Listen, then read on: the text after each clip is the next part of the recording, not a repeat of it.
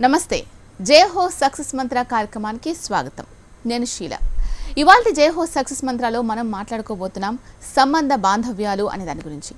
సంబంధ బాంధవ్యాలు ఏ విధంగా ఉండాలి? అసలు ఇప్పుడుంటున్న సంబంధ బాంధవ్యాల వల్ల అసలు ఒకరికి ఒకరికి మధ్య రిలేషన్షిప్ ఏ విధంగా ఉంటుంది? దానివల్ల ఏం కోల్పోతున్నాం? ఏం ఉపయోగపడుతున్నాం? అనేది ఇవాళ జై హో సక్సెస్ మంత్రాల్లో తెలుసుకుందాం. మరి దీని గురించి మనకు తెలియజేయడానికి counselling psychologist corporator trainer Jaganmohan గారు మనతో పాటు ఉన్నారు. నమస్తే సార్. నమస్కారం అండి.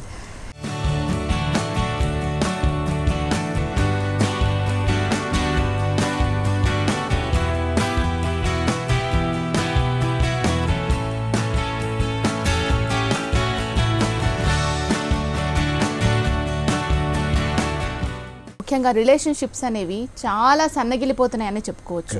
ఒకప్పుడు పూర్వకాలంలో చూసుకున్నట్లయితే పెద్ద పెద్ద ఫ్యామిలీస్. నాయనమ్మ అమ్మమ్మ తాతయ్య అత్తమ్మ వీళ్ళందరూ ఉండేవాళ్ళు. ఈవెన్. పిల్లల పిల్లలకు కూడా ఆడుకోవడానికి కావచ్చు ఏదైనా మంచి నీతి కబుర్లు చెప్పుకోవడానికి కావచ్చు కథలు చెప్పడానికి కావచ్చు వాల్యూస్ చెప్పడానికి కావచ్చు ఈ ఫ్యామిలీలో ఇంతమంది ఉంటారు కాబట్టి ఒక్కొక్కరి నుంచి ఒక్కొక్క మంచి క్వాలిటీస్ ముఖ్యంగా నెగిటివ్స్ కాదు. మంచి. క్వాలిటీస్ చాలా బాగా నేర్చుకునేవాళ్ళు. కానీ ఇప్పుడు మనం చూసుకున్నట్లయితే ఓన్లీ ఫోర్ మెంబర్స్ దాంట్లో ఈవెన్ కొంతమంది చెప్పుకోవాలంటే ఇంకా త్రీ మెంబర్సే ఏది బెస్ట్ ఏది రాంగ్ అనేది చూస్ చేసుకోలేని పరిస్థితి కూడా నెలకొంటుంది. ఇప్పుడున్న ప్రస్తుత కాలంలో. సో ఇవన్నిటికీ ముఖ్యంగా రిలేషన్షిప్స్ అనేవి చాలా స్ట్రాంగ్గా ఉండాలి. మీ ఒపీనియన్ ఏంటి? డెఫినెట్లీ అండి. రిలేషన్షిప్స్ అంటే ఒక ఒక ఫ్యామిలీ పరంగానే కాదు. సో సొసైటీలో ఉన్న అన్ని వర్గాల వారు దీనికి చదువుతారు ఒకటి ఫ్యామిలీ మన పర్సనల్గా ఉంటుంది. At the same time neighbourhood ఉంటుంది మనకు రైట్ అలానే మనం వేరే విధంగా మన బిజినెస్ పరంగా కానీ పార్ట్నర్స్ ఉంటారు. ప్రొఫెషనల్గా పర్సనల్గా plus partnership different partners business partners job partners table mates అంటారు క్లాస్మేట్ స్కూల్ మేట్ లాగానే అలాగే. వీళ్ళందరూ ఏదైతే గ్రూప్ ఉంటుందో వీళ్ళందరిది కలిపి ఒకరికొకరు అంటే ఈ ట్రాన్సాక్షన్ ఏదైతే జరుగుతుందో వీళ్ళ మధ్యలో ఒక గ్రాండ్ ఫాదర్ దగ్గర నుంచి గ్రాండ్ సన్ వరకు రైట్ ఒక హైరార్కి తీసుకోండి. ఒక పెద్ద బాస్ దగ్గర నుంచి సీనియర్ మోస్ట్ అఫీషియల్ దగ్గర నుంచి కింది స్థాయి వరకు. అలానే బిజినెస్ పరంగా కూడా right end to end manufacturer దగ్గర నుంచి ఎండ్ కస్టమర్ వరకు.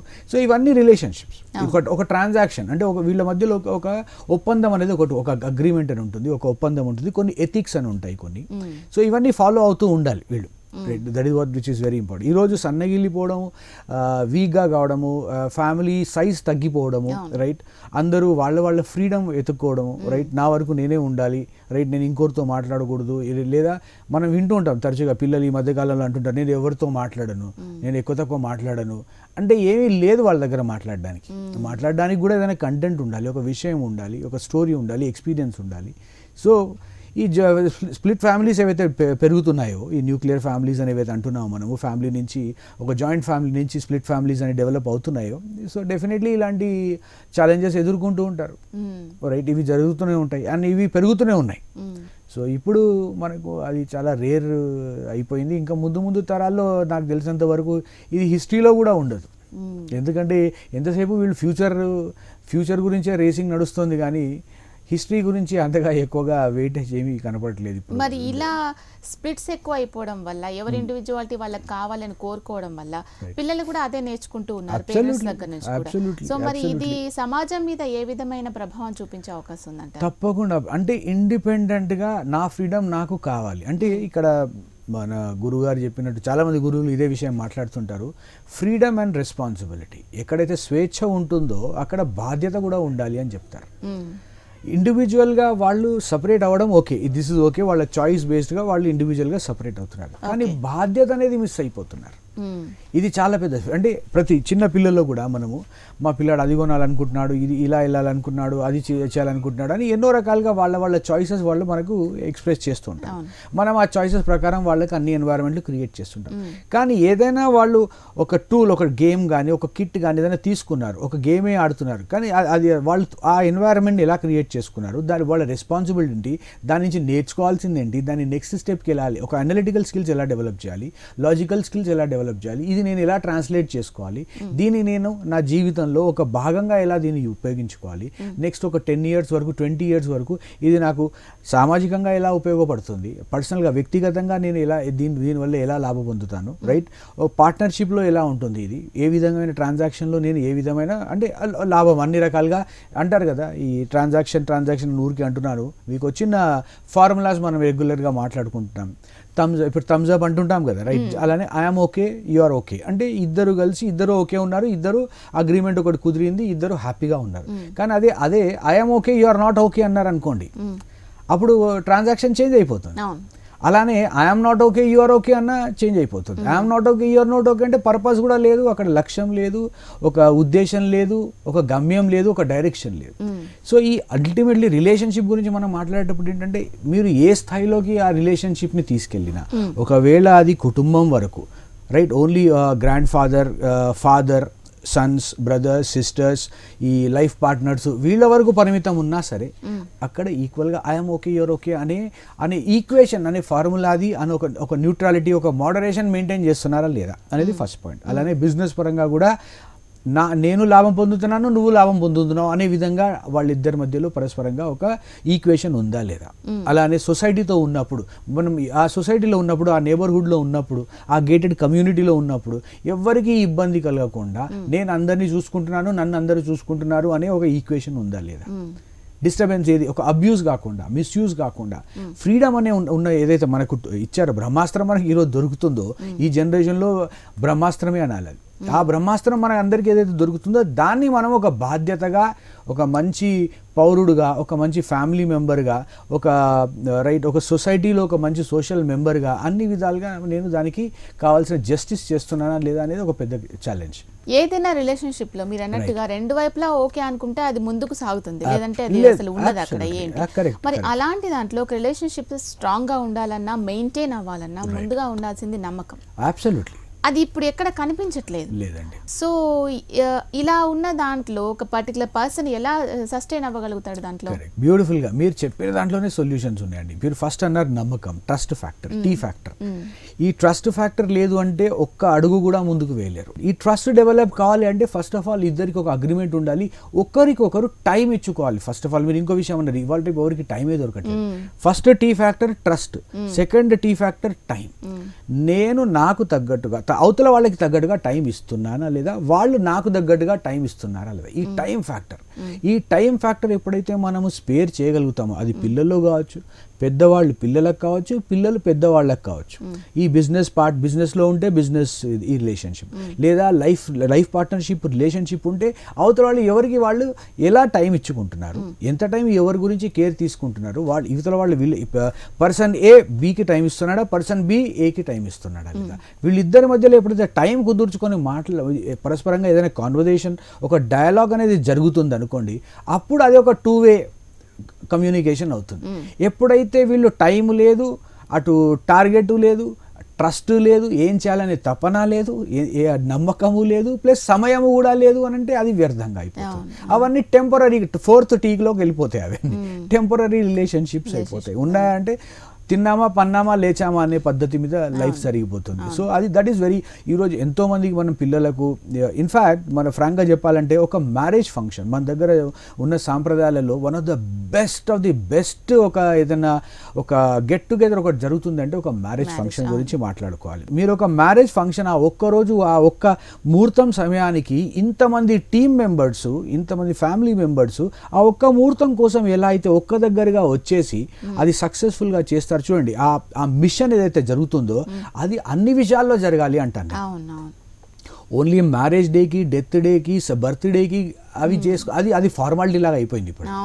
ఈ మూడు ఫంక్షన్స్కి తప్ప అసలు రిలేషన్షిప్స్కి ఈ రోజు ఒక విలువ కూడా లేకుండా పోయింది. ఏ విలువ లేకుండా పోయింది. సో దిస్ ఇస్ వాట్ అంటే ట్రస్ట్ టైము ఒక టార్గెట్. ఈ మూడు టీస్ మనం ఫాలో లేదా అది టెంపరీగా లాస్ట్కి అది ఫేడ్ అయిపోతుంది. టెంపరీ టెంపరీ రిలేషన్షిప్ లాగా అయిపోతుంది. అండ్ ఎక్కువ రోజులు ఆ రిలేషన్షిప్ ఉండదు కూడా. అండ్ వీళ్ళు రిలేషన్షిప్ మారుతూ ఉంటారు. ఇది ఒక లైఫ్ స్టైల్ లా జరిగిపోతుంది. సో మనం చేసేది ఏం లేదు. Wait and see. ఈ ట్రాన్స్ఫర్మేషన్ జరగాల్సిందే. మళ్ళీ అంటారు కదా ఆ శ్రీరాముడి ఆ- యుగం ఏదైతే ఉందో మళ్ళీ రావాల్సిందే. అంటే నథింగ్ యూనో రిలీజియస్ పరంగా నేను చెప్తున్నాను. But yeah we'll have to wait and see కానీ కంట్రోల్ చేయొచ్చు అంటే చేయొచ్చు. దీని దీన్ని మానిటర్ చేయడం కానీ కంట్రోల్ చేయడం కానీ ఆ ఎన్వైరన్మెంట్ పాత ఎన్వైరన్మెంట్ అదే అట్మాస్ఫియర్కి మనం వెళ్ళొచ్చా అంటే అన్నీ మన చేతుల్లో ఉన్నాయి. కానీ ఏంటంటే గాలికి వదిలేసి చూద్దాంలే. గౌతమ్ బుద్ధుడి బుద్ధుడి ఫిలాసఫీ ప్రకారం ఒక మాట ఉంటుంది.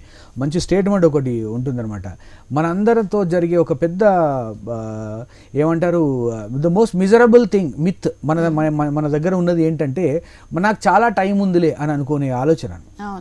కానీ అది మనం అర్థం చేసుకోలేదు అంటే టైం అనేది ఎవరి దగ్గర లేదు ఏ దేవుడు కూడా పుట్టలేదు. నీ టైం క్రియేట్ చేయడానికి కానీ నీ టైం క్లోజ్ చేయడానికి కానీ నీ ఉన్న టైంని నీకు మళ్ళీ తిరిగి చేయడానికి కానీ. ఫార్ ఫాస్ట్ ఫార్వర్డ్ రివైండ్ ఎవరు పుట్టలేదు. మన టైంని మనమే ఉపయోగించుకోవాలి. ఆ టైంని మనం ఉపయోగించుకుంటే దీని అన్నీ సరిగా సెట్ అయిపోతాయి. అసలు పాత కాలంలో ఉన్న రిలేషన్షిప్స్ చూసుకుంటే చాలా స్ట్రాంగ్ ఉండేది. రైట్ ఇంట్లో ఒక పెద్ద ఒక మాట మనకు చెప్పారంటే తూచా తప్పకుండా పాటించేవాళ్ళు. కానీ ఇప్పుడు ఆ పరిస్థితి లేదు. లేదండి. ఎందుకు ఇంత తేడా ఉంది? అసలు దా అప్పుడు ఎలా ఉండేది? ఇప్పుడు ఎలా ఉంది? అనే దాని గురించి డిఫరెన్స్ చేస్తూ చెప్పండి. ఒకప్పుడు నేను చూసిన కొన్ని ఒక కపుల్ ఆఫ్ ఫ్యామిలీస్ ఎగ్జాంపుల్స్ చెప్తాను. ఇంతకు ముందుగా ఇంటికి పెద్ద అని ఒకరు ఉండేవారు. ఆ పెద్ద అనేవాడికి కూడా ఒక ఎన్వైరన్మెంట్ ఎలా తను ఎదుగుదలలో డిఫరెంట్ డిఫరెంట్ లెవెల్స్లో ఫర్ ఎగ్జాంపుల్ కరాటేలో మార్షల్ ఆర్ట్స్లో మనకు ఉంటాయి. White belt yellow belt red green brown yellow belt ఈ బెల్ట్ పెరుగుతున్న కొద్దీ వాళ్ళల్లో ఒక ఇంటెలిజెన్స్ వాళ్ళల్లో ఒక అవేర్నెస్ ఒక మెచ్యూరిటీ లెవెల్ అనేది డిఫరెంట్ డిఫరెంట్లో పెరిగేది. అది అది that is what is martial arts బేసిక్గా ఫస్ట్ స్టా స్టార్ట్ ఇంట అంటే రిలేషన్షిప్ డిస్కషన్స్ వచ్చినప్పుడు starting level completely dependent situation white belt పద్ధతిలో తీసుకుందాం. అంటే తనకు తాను ఇంకోరి మీద డిపెండ్ అయ్యే ఉండాలి. ఎవరైనా చెప్పిన బాటనే నేను నడవాలి. నేను ఏలు పట్టుకుని నన్ను ఎవరైనా ఏలు పట్టుకుని నడిపిస్తేనే సరే అది వెళ్తున్నాను. ఈ డిపెండెంట్ స్టేజ్ నుంచి ఫైనల్ స్టేజ్కి వచ్చే వరకు ఇండిపెండెంటే కాకుండా ఇంటర్ డిపెండెంట్ అంటే ఎవరైనా కూడా డిపెండ్ కావచ్చు. ఆ స్టేజ్ వరకు వెళ్తారనమాట ఇది మనకు మన పాతకాలంలో ఒక పద్ధతి అనేది ఉండేది. ఫస్ట్ తను ఒకరి ఒకరు బాటలో నడవడం దాని తర్వాత కో డిపెండెంట్గా ఇంకోరితో నడవడం దాని తర్వాత మెల్లిగా ఇండిపెండెంట్గా తనకు తాను తెలుసుకోవడం ఇంట్రా డిపెండెంట్గా ఒక సమాజంలో ఉండి అందరితో పాటు నడవడం తర్వాత నా మీద ఎవరైనా డిపెండ్ కావచ్చు అనే స్థాయికి ఎదగడం. ఇదే మనకి Stephen Covey manage seven habits of highly effective people అని ఒక బుక్ కూడా ఉంది ఆథర్ ఆ మేనేజ్మెంట్ గురు అమెరికాలో ఇప్పుడు seventy five eighty percent of the companies అదే ఫాలో అవుతుంటారు. ఇది ఆల్రెడీ మన దగ్గర ఉన్నది. పద్ధతులే. ఈ పాత పద్ధతులే ఇవన్నీ. వాళ్ళని కొత్తగా సృష్టిస్తున్నారు.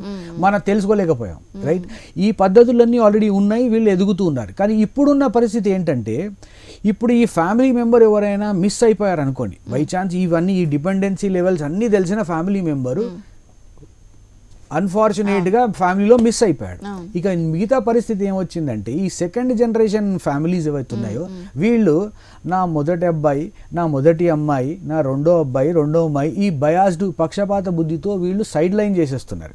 ఈ పద్ధతిని రైట్ నా సపోర్టు నా రెండో కొడుక్కే నా సపోర్టు నా మూడో కూతురికే నా సపోర్టు ఇలా పక్షపాత బుద్ధితో ఈ బయాస్డ్ ఒక ఒక లైఫ్ స్టైల్ ఒక డెవలప్ అవుతుంది.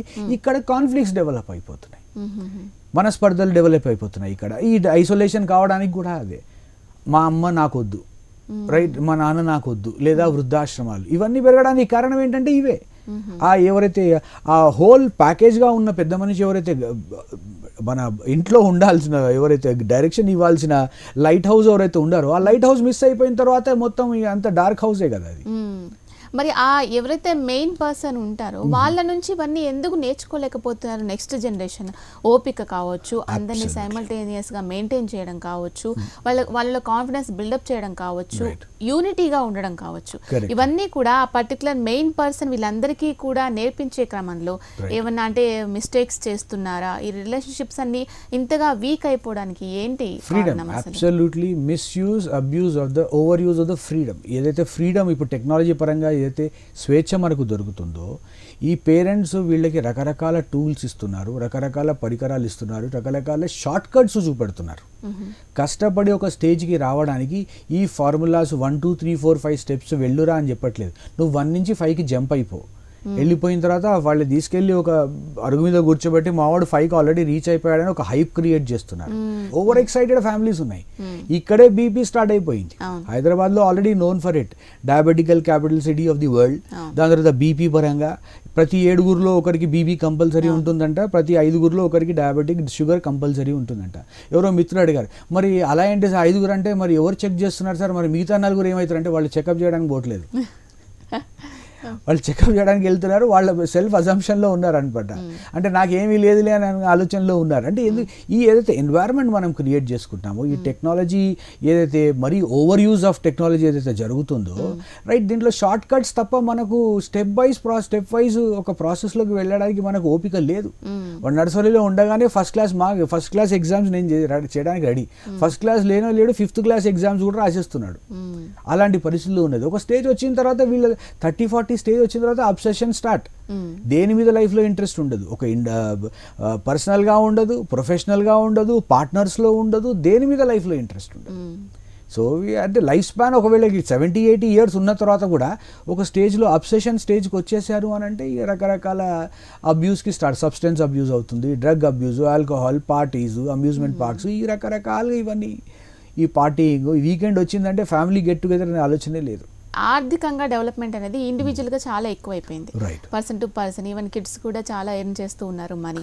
సో దీని వల్ల కూడా రిలేషన్షిప్స్లో గ్యాప్స్ వస్తున్నాయంటారా హండ్రెడ్ డెఫినెట్లీ డెఫినెట్లీ ఇక్కడ హస్బెండ్ వైఫ్ ఇద్దరు సరి సమానంగా ఒక అంటే మనీ మాత్రం మనీ కోసం మాత్రమే కాకుండా అంటే వాల్యుబుల్స్ కోసం కాకుండా వాల్యూ కోసం మనం సంపాదిస్తున్నాము. వాల్యూస్ సంపాదించడానికి వాల్యూస్ నిలబెట్టుకోవడానికి సంపాదిస్తున్నాము అనే ఆలోచన ఇద్దరిలో ఉన్నది అంటే ప్రాబ్లం లేదు. కానీ వాల్యుబుల్స్ కోసం మనం సంపాదన అంటే అప్పుడు కాంపిటీషన్ స్టార్ట్ అయిపోతుంది. నా దగ్గర ఐఫోన్ ఉంది నీ దగ్గర ఏముంది ఈ కాంపిటీషన్ చిన్న చిన్న వాటిలలో కాంపిటీషన్ చిన్న చిన్న వాటిలో కంపారిజన్స్ రైట్ నా దగ్గర ఇది ఉంటే నీ దగ్గర ఇది ఉందా? మా వాళ్ళు వస్తే మీ వాళ్ళు మీ వాళ్ళకి ఇంత ఖర్చు పెడితే మా వాళ్ళకి ఇంత ఖర్చు పెడతాను. మా సైడ్ ఇదైతే మీ సైడ్ మీ సైడ్ ఇదైతే మా సైడ్ ఈ మనస్పర్ధలు జరుగుతూనే ఉంటాయి. రైట్? ఒక్కసారి ఒక రిలేషన్షిప్లో ఒక పార్ట్నర్షిప్ అని ఎప్పుడైతే అగ్రిమెంట్ జరుగుతుందో అది ఏ విధమైన పార్ట్నర్షిప్ అయినా ఎక్స్క్లూజివ్గా ఈ పర్సనల్ రిలేషన్షిప్స్లో రైట్? ఎప్పుడైతే జరుగుతుందో రైట్? మన ఇద్దరం పార్ట్నర్షిప్గా చేద్దామంటే నేను ఎలా ఉన్నా నువ్వు యాక్సెప్ట్ చేయాలి నువ్వు ఎలా ఉన్నా నేను యాక్సెప్ట్ చేయాలి. లేదా నా కండిషన్స్ ఇవి నా పాయింట్ వన్ టూ త్రీ ఇవి నీ పాయింట్ వన్ టూ త్రీ ఇవి. ఇవి మాత్రం నువ్వు ప్రోటోకాల్స్ దాటి ముందుకు వెళ్ళకూడదు. రైట్ నేను కూడా వెళ్ళను మన ఇద్దరం ఇదే కంట్రోల్లో ఉందాము. దీనివల్ల మన ఫ్యామిలీస్ హ్యాపీగా ఫీల్ అయితే మన జనరేషన్ కూడా ఏమైనా నేర్చుకుంటాయి. లేదా మన మీ పేరెంట్స్ దగ్గరికి వెళ్ళి కౌన్సిలింగ్ చేద్దాం మా పేరెంట్స్ దగ్గరికి కౌన్సిలింగ్ చేద్దాం. ఫిల్టర్ చేసుకుందాం. బెస్ట్ సూత్రాలు ఏవో మనమే రాసుకుందాం. ఇంట్లో ఒక బోర్డు పెట్టేసుకుందాం. వన్ టూ త్రీ నేను ఈ విధంగానే చేస్తాను. ఎవ్రీ దసరాకి ఇక్కడ వెళ్తాను దీపావళికి మా ఇంటికి వెళ్తాను అత్తగారింటికి వెళ్తాను అమ్మగారింటికి వెళ్తాను. ఇలా డిసైడ్ చేసుకొని వాళ్ళు రెస్పాన్సిబిలిటీస్ బ్యూటిఫుల్గా లైఫ్ ట్యూన్ చేసుకోవచ్చు. బట్ అన్ఫార్చునేట్గా డామినెన్స్ ఎప్పుడు అక్కడో అదో అటు సైడో ఇటు సైడో ఏదో ఒకటి జరుగుతూనే ఉంటుంది. ఈ షావినిస్టిక్ మెంటాలిటీ అంటారు. ఈ షావినిస్టిక్ మెంటాలిటీ ఏంటంటే యాతో హస్బెండ్ కంప్లీట్గా డామినేట్ చేయడం వైఫ్ సైడ్ లేదా వైఫ్ కంప్లీట్గా హస్బెండ్ని డామినేట్ చేసేయడం. సో ఈ షావినిస్టిక్ మెంటాలిటీ ఉన్నంత వరకు ఈ డిస్పారిటీస్ పెరుగుతూనే ఉంటాయి. ఆ సాటిస్ఫాక్షన్ అనేది ఉండదు. ఏదైతే ఓల్డ్ జనరేషన్ ఉందో వాళ్ళు ఎన్ని కష్టాలు కానీ పిల్లల్ని రైట్ అన్ని పెంచి వాళ్ళని ఒక స్థాయికి తీసుకొచ్చి ముందుకు వెళ్తూ ఉంటారు. Today I come across lot of parents చాలామంది పేరెంట్స్ నా దగ్గరకు వచ్చి మా పెద్ద అబ్బాయి మా చిన్న అబ్బాయి చిన్న అమ్మాయి పెద్ద అమ్మాయి అని చెప్పేసి రకరకాలే చెప్తుంటారు. సో నేను చెప్తూ ఉంటాను don't treat them as your no more as your kids treat them as patients next జన జనరేషన్ని మీరు మీ మీ బ్లడ్ రిలేటెడ్ రక్త సంబంధమైన బంధువులుగా చూసే రోజులు పోయాయి. ఇప్పుడు ఏంటంటే వాళ్ళు పేషెంట్స్ వాళ్ళకు కొద్దిగా ప్రేమ జాలి ఇవి కావాలి. కొద్దిగా కన్సర్న్ చూపెట్టండి కేర్ చూపెట్టండి అలానే అడ్జస్ట్ అయిపోండి. And it is working out అది వర్కింగ్ అవుట్ వాళ్ళు ఎప్పుడైతే పేషెంట్గా చూడడం స్టార్ట్ చేశారో వీళ్ళకి అర్థమైపోయింది. అంటే I don't know which way I side but it is working out but which is not the right thing అది మనం చె- చెప్పుకోవాల్సిన విషయం కాదు. ఆ విధంగా ఫ్యామిలీలో అంత దయనీయమైన పరిస్థితి ఉండకూడదు. But. Still it is working out that is the way పిల్లల్ని ఒక రైట్ వేలో నడపాలి అని ఒక నాలుగైదు ఫ్యామిలీస్ ఉన్నా కానీ. సమాజంలోకి వెళ్తే అన్ని అట్లా ఉండవు. Even office. ఆఫీస్లో చాలా మంది డిఫరెంట్గా ఉంటారు. చదువుకునే టైంలో డిఫరెంట్గా ఉంటారు. కొంతమంది టీచర్స్ డిఫరెంట్గా ఉంటూ ఉంటారు. ఫ్రెండ్స్ డిఫరెంట్గా ఉంటారు. ఒక పద్ధతిలో వీళ్ళు పెరిగినా గానీ మిగతా సమాజం మొత్తం కూడా రిఫ్లెక్ట్. అవుతూ ఉన్నప్పుడు ఈ ఒక ఫ్యామిలీ చెప్పేది వాళ్ళకి ఎలా ఎక్కుతుంది? ఇప్పుడు కంట్రోల్ చేసే పరిస్థితి ఏమీ లేదండి. మీరు జస్ట్ ట్రాఫిక్ పోలీస్ మాత్రమే. సిగ్నల్ రెడ్ సిగ్నల్ ఎక్కడ గ్రీన్ సిగ్నల్ ఎక్కడ ఎల్లో సిగ్నల్ ఎక్కడ? ఇది చూపెట్టడం వరకు మాత్రమే ఈ రోజు యొక్క పేరెంట్స్ యొక్క రెస్పాన్సిబిలిటీ అనండి లేదా పరిస్థితి అలా జరిగి. మిగిలిపోయింది. ఎందుకంటే మీరు ఇంట్లో వాళ్ళకి మార్నింగ్ లేపించి గాయత్రి మంత్రం నేర్పిస్తున్నారు భగవద్గీత చెప్తున్నారు రామాయణం చెప్తున్నారు మీరు అన్ని రిలీజియస్వి అన్ని ఓ గ్రైండర్ చేసేసి మొత్తం ఇచ్చేస్తున్నారు. థర్స్డే ఫ్రైడే రాగానే ఒక తీన్ మార్ సినిమా రిలీజ్ అయిపోయింది. ఇవన్నీ నేర్పించింది వారం రోజులు మీరు ఒక ఎత్తు. దాని తర్వాత ఈ తీన్ వార్ సినిమా ఫస్ట్ డే ఫస్ట్ టికెట్ ఇచ్చి పంపించాడు. వాడు ఇంటికి గోక్కుంటూ వచ్చాడు. ఆ దురదతో వచ్చాడు. ఆ తీర్మాడు దురదతో ఇంటికి వచ్చేసాడు అంటే మీరు ఏదైతే వారం రోజులు వాడి మీద పదివేలు పెట్టారా ఐదు వేలు పెట్టారా లక్ష పెట్టారా నాకు తెలీదు. కానీ ఈ హండ్రెడ్ రూపీస్ ఇచ్చి ఏదైతే తీన్మార్ సినిమాకి పంపించారో వాడు ఆ- ఆ అంటురోగంతో ఇంటికి వచ్చాడు. అంటే ఐఎమ్ నాట్ అగేన్స్ ఫిలిమ్స్. నేను చెప్తున్నది ఏంటంటే నెగటివిటీ ఎంత భయంకరంగా ఎంత ఫాస్ట్గా కనెక్ట్ అవుతుంది అంటే అది మీరు వారం రోజులు కాదు కదా ఒక సంవత్సరం మొత్తం పొడుగునా మీరు ప్రోటోకాల్స్ అన్ని పెట్టి అన్ని నేర్పించిన తర్వాత కూడా ఆ వన్ డే ఆ వన్ షో చాలు వాడి జీవితాన్ని మార్చడానికి. ఎవరు ఐ స్టిల్ రిమెంబర్ ఒక కొటేషన్ ఉంది కదా an idea can change your life idea అంటే లిటరల్లీ ఒక సెల్యు సెల్యులర్ టెలికాం వరకు మాత్రమే పరిమితం కాదు. ఇక్కడ an idea can be from any corner ఎక్కడి నుంచి ఏ ఏదో ఐడియా వచ్చినా సరే it will change your life. అంటే ఇప్పుడు ఎగ్జాంపుల్గా మీరు మూవీ తీసుకున్నారు కానీ మూవీస్ అప్పుడు కూడా ఉన్నాయి. ఉన్నాయి ఉన్నాయి అబ్సల్యూట్లీ టెక్నాలజీ చాలా తక్కువగా ఉంది. Social media. WhatsApp. Facebooks Twitters అవి లేవు. రైట్ వీటి నుంచి చాలా చేంజెస్ వస్తూ. ఈ టెక్నాలజీ అనేది ఎంత ప్రభావం చూపిస్తుంది అని మీరు అనుకుంటున్నారు? హండ్రెడ్ పర్సెంట్ అండి. Hundred. Percent technology. Hundred percent ఈరోజు ఇన్ఫ్యాక్ట్ నా దగ్గర కొన్ని కౌన్సిలింగ్ కేసెస్ కూడా ఉన్నాయి. టెన్త్ క్లాస్ నైన్త్ క్లాస్ నుంచి స్టార్ట్ అవుతున్నారు పిల్లలు. Ninth tenth intermediate. ఇక్కడ నుంచి టెక్నాలజీ ఎప్పుడైతే కనెక్ట్ అవుతున్నారో వీళ్ళు స్కూల్కి వెళ్ళడం బంద్ అయిపోతుంది స్కూల్కి వెళ్ళట్లేదు.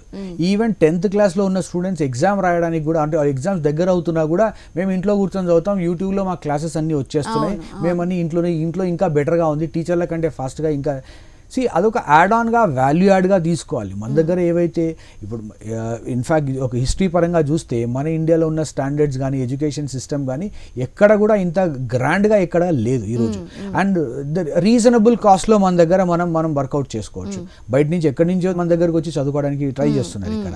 బట్ ఇక్కడ ఏంటంటే మన వాళ్ళు అర్థం చేసుకోవట్లేదు మన స్టాండర్డ్స్ ఏంటి? మనం ఈ స్టెప్ బై ఈ స్లో ప్రాసెస్ కాబట్టి అంటే ఈ టెక్నాలజీ ఫాస్ట్గా పోతుంది. It's okay let the technology go one G two G three G five G ten G వరకు పోయినా బాధ లేదు కానీ ఇక్కడ ఏవైతే ఇండివిజువల్ ఉన్నాడో మరి అంత డంబుగా అంత స్మార్ట్గా పోవాల్సిన అవసరం లేదు. అవి షార్ట్ కట్స్ అవి. ఓకే.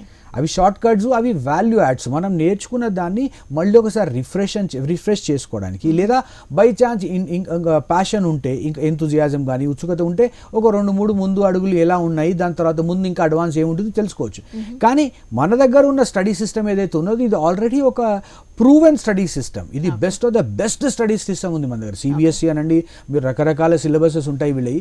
ప్రతి ఒక్కటి ఆల్రెడీ ప్రూవెన్ స్టడీ సిస్టమ్ ఈ స్టడీ సిస్టమ్ని మాత్రం వాళ్ళు బ్రేక్ చేయొద్దు అంటున్నారు. Come across two different cases నా ఫ్రెండ్స్వి ఒక అబ్బాయి ఏమో బాగా చదువుతున్నాడు. అంత చదువుతున్నాడు ఏదో టెక్నో ఎగ్జామ్స్ అవి ఇవి రాశాడు ఏదో మొత్తం స్పెల్ బి అవన్నీ ఉంటాయి కదా ఈ చిన్న చిన్న ఎగ్జామ్స్ అన్ని జరుగుతున్నాయి. ఇంటెలిజెన్స్ క్వశ్చన్ అని అదని ఇదని దాంట్లో టాప్ ర్యాంకర్గా వచ్చాడు వచ్చి ఫాదర్ అడుగుతున్నాడు అనమాట ఫాదర్ నేను మరి ఎయిత్ క్లాస్లో ఉన్నాను నేను ఇవన్నీ పాస్ అయిపోయాను కాలేజ్ క్లాస్ ఫస్ట్ వచ్చాను ఇప్పుడు నేను ఏం చేయాలి అని. ఇమ్మీడియట్గా ఏం చేయాలి? ఒక్క నిమిషం ఉండు అని చెప్పి నాకు ఫోన్ చేసి "ఈ మా కొడుకు ఇలా అడుగుతున్నాడు నేను ఏం చేయాలని ఏం చేయమంటావు అని. ఒక ఒక తండ్రి పరిస్థితి ఇది ఇంకో తండ్రి పరిస్థితి ఏంటి? అమ్- అమ్మాయి బాగా చదువుతుంది అన్నీ చేస్తోంది. సో మరి అన్ని బాగా చేస్తుంది కదా ఇంకా ఏమైనా అడిషనల్గా ఇద్దామని యూట్యూబ్లో అవి ఇవి చూసేసి ఏదైనా క్రియేటివ్గా చేయాలని చెప్పేసి తనకి కొన్ని క్రియేటివ్ ఆర్ట్స్ అన్ని నేర్పించడం స్టార్ట్ చేసి మెమరీ ట్రైనింగ్ అవన్నీ చేసి స్కూల్కి పనిచేయడం స్టాప్ చేశాడు. ఓన్లీ ఎగ్జామ్ టైంలో మాత్రమే నేను స్కూల్కి పంపిస్తాను. ఇప్పుడున్న టెక్నాలజీ ప్రకారం మా పాప స్కూల్కి పోవాల్సిన అవసరమే లేదు అని చెప్పి ఇంట్లో కూర్చోబెట్టాడు. ఇప్పుడు ఇద్దరు రెండు ఛాలెంజెస్ ఉన్నాయి. రైట్ ఇద్దరికి ఇద్దరు super duper performance multi talented but రెండు రకాల ఫిలాసఫీస్ డెవలప్ అవుతున్నాయి. ఇవన్నీ ఈ సిస్టమ్ చేంజెస్ అవుతూ ఉంటాయి. రైట్ కానీ నేను వీళ్ళ ఇద్దరికి మెసేజ్ ఇచ్చింది ఏంటంటే మీరు మీ స్టడీ మీద ఫోకస్ చేయండి. మీ ఏదైతే అబ్బాయి రేస్ మీద ఉరుకుతున్నాడో అన్ని ఇంటెలిజెన్స్ బాగుంది అన్ని లెవెల్లో బార్ ఫస్ట్ ర్యాంకు డిస్టింక్షన్లు ఏ గ్రేడ్లు అన్నీ వస్తున్నాయి. No problem no doubt about ఈ అమ్మాయి కూడా మెమరీ ట్రైనింగ్ కానీ ఇంకా వేరే వేరే అన్నీ జరుగుతుంది. వీళ్ళిద్దరిని వాళ్ళ స్టడీ నుంచి దూరం చేయకండి. వాళ్ళ క్యాలెండర్ ఏదైతే క్రియేట్ చేశారో. ఈ ఇయర్లో టెన్త్ క్లాస్లో ఉంది ఎయిత్ ఎయిత్ క్లాస్లో సెవెంత్ వడవ క్వార్టర్లీకి హాఫ్ ఇయర్లీకి ఇయర్లీకి జనరల్ నాలెడ్జ్ ఏదైతే ఉండాలి రైట్ వాళ్ళ వేరే డిఫరెంట్ సబ్జెక్ట్ నాలెడ్జ్ ఏదైతే ఉండాలో ఆ సబ్జెక్ట్స్ నుంచి దూరంగా చేయకండి. అంటే ఇది ఎడ్యుకేషన్ సైడ్ చెప్తున్నాం కాబట్టి. దూరం చేయకండి. వాళ్ళని ఏదైతే ఏ టైంలో ఏదైతే నేర్చుకోవాలో అది మాత్రం మీరు మిస్ కావద్దు. ఎందుకంటే రేపు వాళ్ళు ఎంత దూరం వెళ్ళినా ఇది మిస్ అయిపోతారు. ఓకే సార్ ఫైనల్గా రిలేషన్షిప్స్ గురించి మీరేం చెప్తారు? Relationships I'm okay you're okay నేను చెప్పింది అదే. అదని కాకుండా నెక్స్ట్ లెవెల్ కూడా తీసుకెళ్ళొచ్చు. ఐఎమ్ ఓకే యువర్ ఓకే అని కాకుండా కూడా I'm okay and we're okay right మనందరికీ ఒకరు ఒకరు ఒకరి తోడు ఒకరికి అవసరం ఉంటుంది. సో అందరితోటి పీస్ఫుల్గా హార్మోనియస్గా ఉండాలనేది నా ఉద్దేశం. Okay thank you so much అండి. రిలేషన్షిప్స్ అనేది చాలా వీక్ అయిపోతున్న క్రమంలో మనం స్ట్రాంగ్ ఎలా చేసుకోవాలి ఒక పర్టికులర్ పర్సన్ నుంచి ఎలా స్టార్ట్ అవ్వాలి అనే దాని గురించి చాలా ఎన్నో వాల్యుబుల్ విషయాలు మాకు తెలియజేశారు. Thank you so much thank you so much thank you